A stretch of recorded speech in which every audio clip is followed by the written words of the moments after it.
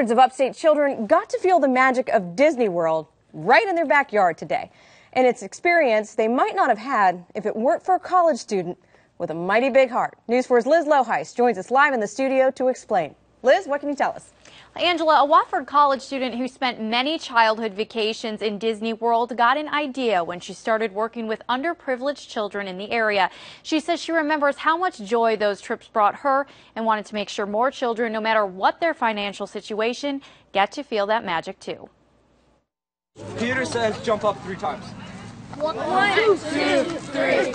College sophomore Coulson Hawk didn't realize how lucky she was to take yearly trips to Disney World until she started working with underprivileged kids in the upstate. These kids will probably never have the chance to go because of financial situations. Thank you. So she thought, why not bring Disney to them? It's fun when we get to play with the characters.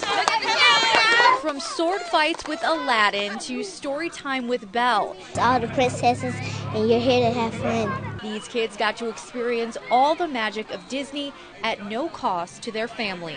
Uh, it's amazing. Like you never expect. I think. Like I, I never expected the kids to actually believe in it. Saturday's Fantasyland was part of Hawk's project for Impact, a scholarship group at Wofford College. She says she's amazed by how many volunteers and other community organizations stepped up to the plate to make this event bigger and brighter than she imagined. I got really, really lucky to have just amazing Wofford friends and family to help with this. More than 350 children got to experience the magic, and everyone left with a smile. It was special because that was my first time.